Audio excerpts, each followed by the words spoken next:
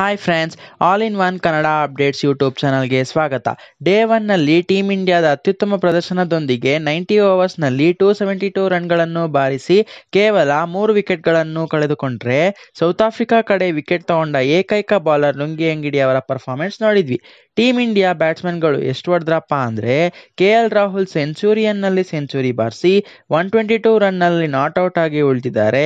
ಅವರ opening partner ಆದ Mayank Agarwal sixty run ಬಾರಿಸಿ ಔಟ್ ಆದರು.